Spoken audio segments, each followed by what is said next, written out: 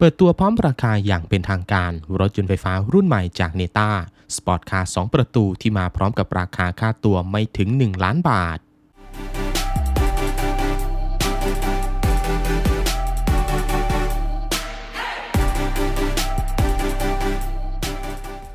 เปิดฉากอย่างเป็นทางการไปแล้วตั้งแต่วันที่ 18 เมษายน 2566 สำหรับงานมหกรรมยานยนต์ครั้งยิ่งใหญ่ที่สุดของจีน อย่างงานเซี่ยงไฮ้ Auto Show 2023 สำหรับในปีนี้มีทั้งรถยนต์รุ่นใหม่ และเทคโนโลยีสุดล้ำมากมายที่มีการเปิดตัวออกมา ซึ่งเราจะมีการทยอยสรุปข้อมูล และทำคลิปออกมาให้เพื่อนๆได้ชมกันต่อไปหลังจากนี้ โดยในวันนี้เราจะขอเริ่มต้นที่หนึ่งค่ายยานยนต์ที่น่าจับตามอง และเป็นหนึ่งค่ายยานยนต์ที่เข้าทำตลาดในไทยของเราแล้ว อย่าง Neta Auto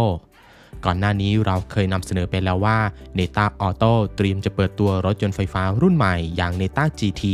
รถยนต์ไฟฟ้าสปอร์ตคูเป้2ประตู ซึ่งล่าสุดเมื่อวันที่ 18 เมษายน 2566 ที่ผ่านมาเนต้าออโต้ในจีนได้เปิดตัวพร้อมกับราคาจำหน่ายอย่างเป็นทางการของเนต้า GT ออกมาเป็นที่เรียบร้อยแล้ว ด้วยความสวยสปอร์ต ระยะทางที่วิ่งได้ไกลกว่า 660 กิโลเมตรต่อชาร์จ ที่สำคัญราคาค่าตัวในจีนนั้น เริ่มต้นไม่ถึง 1 ล้านบาท จึงจัดว่าเป็นหนึ่งในรถยนต์ไฟฟ้าที่น่าสนใจอย่างมากสำหรับเนต้า GT นั้นมาพร้อมกับตัวถังที่เป็นสปอร์ตไฟฟ้า 2 ประตูสี่ที่นั่ง ตัวรถถูกพัฒนาขึ้นบนแพลตฟอร์มเดียวกันกับที่ใช้ใน Neta S โดยรวมการออกแบบนั้นเน้นไปที่ความโค้งมนของตัวถังทำให้ตัวรถได้ค่าสัมประสิทธิ์แรงต้านอากาศเพียง 0.21 CD เท่านั้น เมื่อจับประตูเป็นแบบซ่อน ล้อขนาด 19 นิ้วแบบต้านลมต่ำ ด้านหลังมาพร้อมกับหลังคาลาดเอียง พร้อมกับสปอยเลอร์ด้านหลัง การตกแต่งภายในนั้นมาพร้อมกับเบาะคู่หน้าแบบ bucket seat ทรงสปอร์ต บางจุดมีการตกแต่งด้วยวัสดุคาร์บอนไฟเบอร์ พวงมาลัยของรถเป็นแบบ 3ก้านทรงสปอร์ต D-shape พร้อมกับปุ่มควบคุมแบบ multifunction หลังพวงมาลัยของรถเป็นหน้าจอแสดงผลการขับขี่แบบดิจิตอล สวิตช์เกียร์นั้นจะเป็นแบบก้านหลังพวงมาลัย ส่วนหน้าจอควบคุมส่วนกลางของรถนั้นมีขนาด 17.6 นิ้ว ความละเอียด 2.5K ประมวลผลด้วยชิป Snapdragon รุ่นที่ 3 Cockpit Platform 8155 ระดับ 7 นาโนเมตร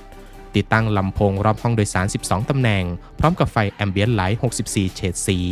หลังคาของรถนั้นเป็นแบบกระจก panoramic กินพื้นที่ 1.3 ตารางเมตร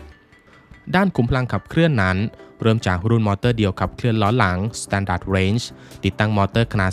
231 แรงม้า พ่วงด้วยแบตเตอรี่ความจุ 64 กิโลวัตต์ชั่วโมง สามารถวิ่งได้ไกลสูงสุด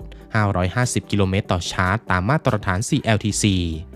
รุ่น Rear Wheel Drive Long Range พลังกำลังมอเตอร์เท่ากันกับในรุ่น Standard Range แต่มีการเพิ่มความจุแบตเตอรี่ให้ใหญ่ขึ้นเป็น 74 กิโลวัตต์ชั่วโมง ช่วยให้ตัวรถวิ่งได้ไกลถึง 660 กิโลเมตรต่อการชาร์จไฟเต็มหนึ่งครั้งส่วนสำหรับสายซิ่งนั้น Neta GT ก็มีรุ่นสมรรถนะสูงกับเครื่องสีล้อมาให้เป็นตัวเลือก โดยตัวรถมาพร้อมกับมอเตอร์คู่ ที่ให้พละกำลังรวม 462 แรงม้า ขับเคลื่อนสีล้อ all-wheel drive ทำอัตราเร่งจาก 0 ถึง 100 กิโลเมตรต่อชั่วโมงได้ใน 3 วินาที ส่วนความเร็วสูงสุดของรถนั้นอยู่ที่ 190 กิโลเมตรต่อชั่วโมง ตัวรถจ่ายไฟด้วยชุดแบตเตอรี่ความจุขนาด 78 กิโลวัตต์ชั่วโมง ให้ระยะเดินทางได้ไกลสูงสุด 580 กิโลเมตรต่อการชาร์จไฟเต็มหนึ่งครั้ง ตามมาตรฐาน CLTC สุดท้ายนั้นเป็นเรื่องของราคาจำหน่ายสำหรับ Neta GT นั้น ในประเทศจีนนั้นถูกตั้งราคาค่าตัวไว้เริ่มต้นที่ 178,800 หยวน หรือประมาณ 890,000 บาท และรุ่นท็อปราคาอยู่ที่ 226,800 หยวน ซึ่งถ้าคิดเป็นเงินไทยก็อยู่ที่ราว 1,130,000 บาท โดยราคาดังกล่าวนั้นยังไม่รวมภาษีต่างๆ ในประเทศไทย แต่ด้วยการดีไซน์ออปชันของรถ รวมไปถึงระยะการวิ่งต่อชาร์จของ Neta GT นั้น